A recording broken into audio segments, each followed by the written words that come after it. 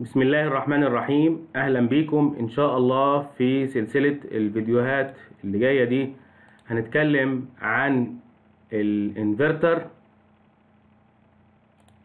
هنتكلم عن آه، كورس كامل خاص بال inverters أو بمعنى أصح ال solar inverter.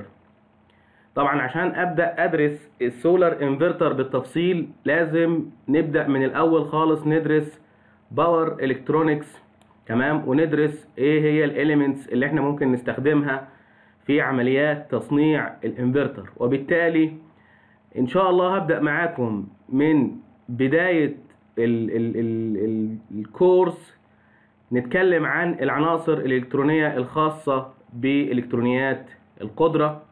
طبعا ال- الشغل بتاعي إن شاء الله هيكون من خلال آه، كتاب مهم جدا الكتاب ده شباب إحدى كتب المؤسسة العامة للتدريب التقني والمهني. كتاب رائع جدا. الكتاب بيتكلم عن إلكترونيات القدرة في تخصص الآلات والمعدات. طبعا ده هو الأساس اللي إحنا هنبدأ نتحرك منه وبعد كده هنبدأ نشتغل على التطبيقات الخاصة بالإنفرترز اللي أنت بتشوفها في السوق. بس لو أنت عايز تبدأ تفهم إنفرتر صح أو solar inverter صح لازم تذاكر معايا الكتاب ده إن شاء الله بالتفصيل ونبدأ نعرف أو نفتكر المكونات الإلكترونية اللي إحنا هنبدأ نتعامل معاها. طبعا في ملفات تانية هنستعين بيها في دراسة ال- الانفرتر عشان نبدأ نشتغل نعرف يعني إيه انفرتر وإيه خصائصه بنقيسه إزاي تمام؟ ونبدأ ندخل على ال basics الخاصة بال electronics. بالتفصيل ونشوف إيه هي ال ال ال data اللي ممكن نستخدمها في الوصول إلى فهم الإنفرتر.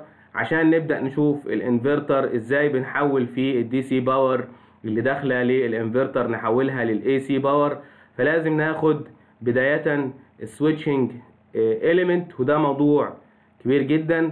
تمام؟ هنبدأ ندرس فيه الأنواع المختلفة. الخاصة بعمليات ال switching. طبعا عشان تبدأ تدرس الكلام ده لازم ترجع تدرس power electronics تدرس ال- ال- ال- المكونات المستخدمة في ال inverters اللي إحنا بنستخدمها في السوق. نبدأ نتعرف على المكونات الإلكترونية يا شباب تمام؟ عشان نبقى فاهمين الإنفرتر ده بيتكون من إيه من الداخل ونبدأ نشوف الخصائص بتاعته ونبقى فاهمين داخليا الإنفرتر بيتكون إزاي والأنواع المختلفة للإنفرترز. فالبداية اللي أنا هبدأ بيها إن أنا هبدأ أدرس إلكترونيات القدرة من كتاب المؤسسة العامة للتدريب التقني والمهني. ده كتاب بسيط جدا. أنا واخد بعض ال- السلايدات اللي هبدأ أتكلم فيها النهاردة في المحاضرة الأولانية. على ال- البداية اللي تقدر تدخل بيها عالم ال inverters. طبعا إحنا لما جينا درسنا في ال electronics درسنا حاجة بنسميها ال uncontrolled rectifier ال uncontrolled rectifier معناها بالعربي الموحدات طبعا ال rectifiers اللي هي الموحدات أو ال diodes تمام؟ الموحدات غير المحكومة أو ال uncontrolled rectifiers عايز الناس تركز جدا معايا في الجزئية دي. المقدمة دي أهم حاجة في ال course. تمام؟ أنا هنا بستخدم ال uncontrolled rectifier في إيه؟ تستخدم دوائر الموحدات غير المحكومة عشان أحول الجهد. خلي بالك أنا هنا بتعامل مع voltage بتعامل مع جهود. طب أنهي نوع من أنواع الجهد؟ هحول الجهد المتردد الثابت القيمة اللي هو جهد متردد ثابت القيمة زي ما إحنا شايفين كده fixed AC voltage هحول ال fixed AC voltage كل ال course كل الناس اللي عايزة تفهم electronics كل الناس اللي عايزة تبدأ تفهم يعني إيه inverter وال solar inverter وتدخل في عالم الانفرتر لازم تبدأ تفهم المقدمة دي كويس جدا. أنا هنا بحول ال fixed AC voltage يعني عندي تيار متردد ثابت تمام؟ أو جهد متردد ثابت القيمة عايز أحوله تمام لجهد DC voltage جهد مستمر ثابت القيمة. يبقى أنا لو أنا كنت بحول من جهد لجهد بس بحول ال AC voltage إلى DC voltage بحول تاني أهو ال AC voltage إلى DC voltage يبقى هستخدم ال uncontrolled rectifier ال diode. طب وإيه بالظبط كمان؟ لازم يكون fixed AC fixed AC هحوله ل fixed DC تمام؟ يبقى الجهد المتردد ده أنا بحوله من اي سي إلى دي سي يلا كده جاوب باستخدام الدايود باستخدام الدايود اللي إحنا هنسميه uncontrolled uncontrolled rectifier. طبعا إحنا هنبدأ نشوف الدوائر بتاعتنا وممكن هنبدأ نشتغل نقول والله أنا ممكن أحول الجهد المتردد سواء كان أحادي الوجه اللي هو ال single phase أو ثلاثي الأوجه اللي هو ال three phase طبعا هنبدأ نشرح بالتفصيل ال single phase وال three phase يبقى أنا لو سألتك دلوقتي أول مكون هنبدأ نشتغل عليه في ال course بتاع الانفرتر اللي هو إحنا بنسميه uncontrolled. احفظ كويس يا باشمهندس وركز معايا. uncontrolled rectifier. ناس كتيرة جدا عارفة الدايود بس مش عارفة الدايود بيحول من إيه لايه الدايود بيحول من fixed AC تيار متردد ثابت أو جهد متردد ثابت القيمة. عايز أحوله إلى جهد مستمر ثابت القيمة. يعني أنا هنا fixed fixed خلي بالك تاني أهو. أنا هنا fixed fixed يعني أنا بحول من ثابت لثابت. تمام؟ هنا بحول التيار المتردد ال AC ال alternated current voltage أو ال AC voltage إلى DC voltage خلاص؟ يبقى أنا عايز الناس تركز ناس كتيرة جدا درست electronics بس الناس عايز تركز في استخدامات المكون. يبقى إحنا في ال application بتاعنا دلوقتي لما هنيجي نشتغل في الانفرتر هنقول في بعض المكونات الداخلية للانفرتر فيها دايود يبقى حضرتك فاهم كويس جدا إن الدايود بيحول ال fixed AC voltage إلى fixed DC voltage fixed fixed أهي. fixed AC voltage إلى fixed DC خلي بالك. fixed fixed ومن إيه لإيه AC ل DC يبقى أنا بستخدم دايود طيب. النوع الثاني اللي هو إحنا بنسميه controlled controlled يبقى خلي بالك الأولاني كان اسمه uncontrolled uncontrolled مش قادر أتحكم. هو.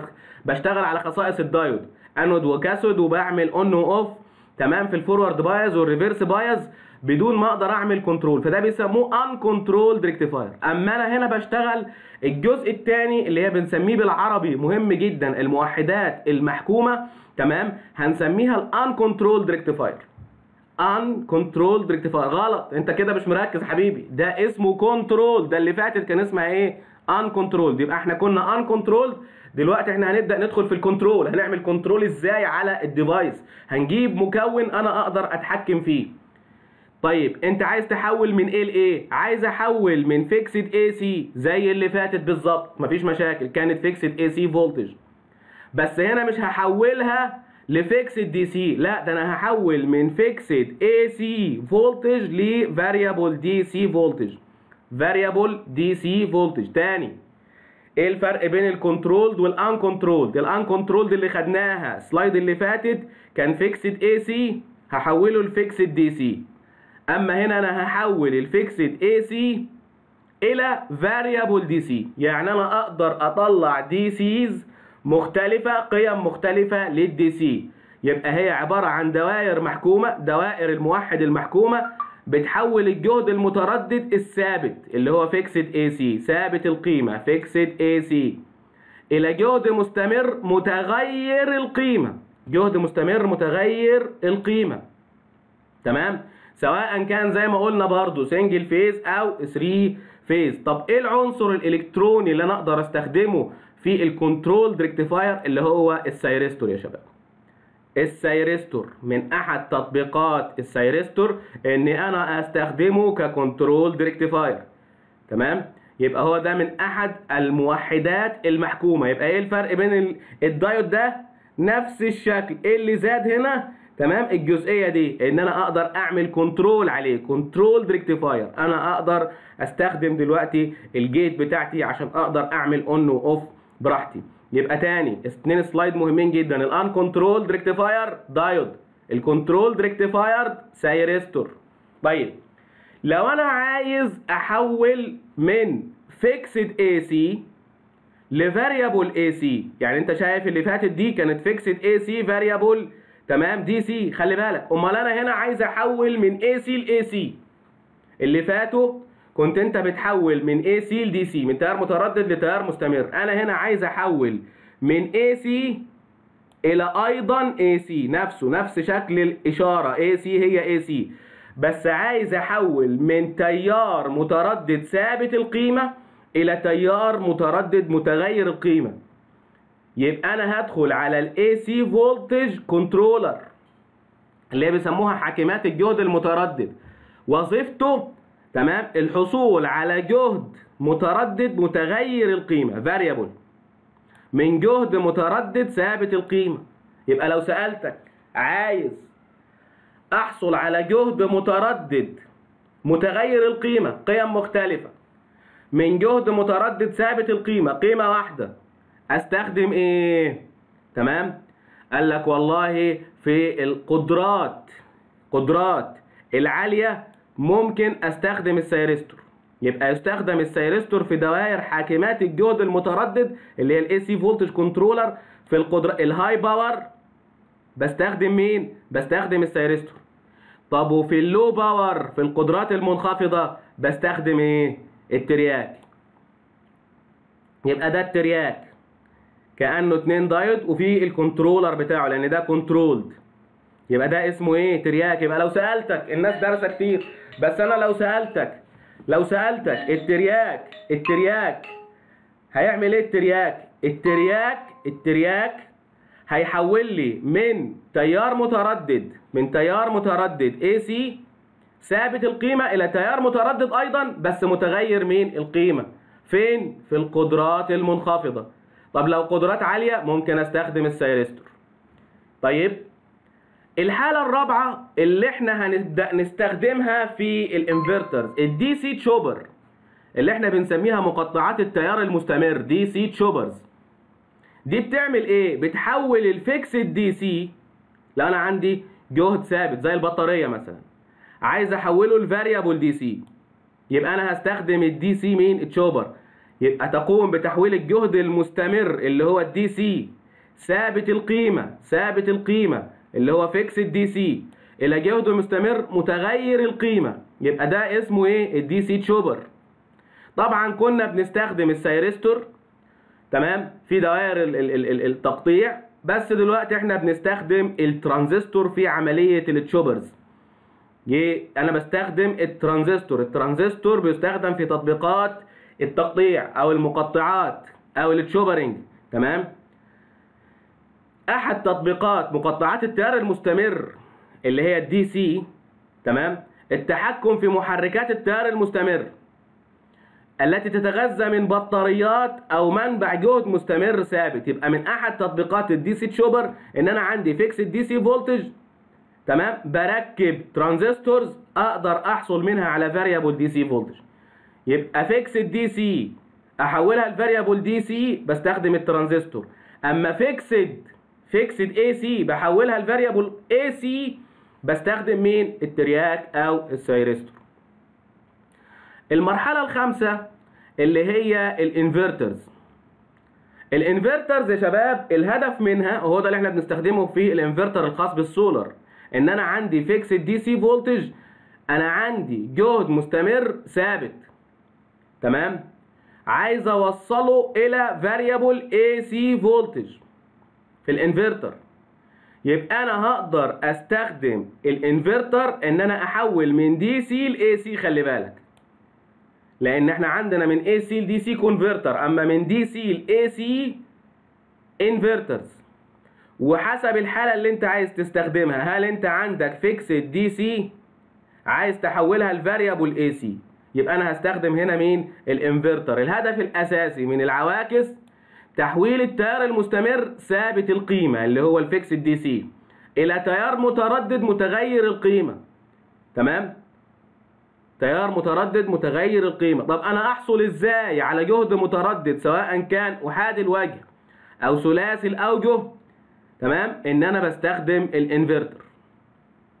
طبعا هنا في الإنفرتر أقدر أستخدم ال thyristor أو الترانزستور في دوائر ال inverters أو العواكس. بس أنا بفضل استخدام مين؟ بفضل استخدام الترانزستور لأن التصميم بالترانزستور بيبقى أسهل وذات مرونة أعلى.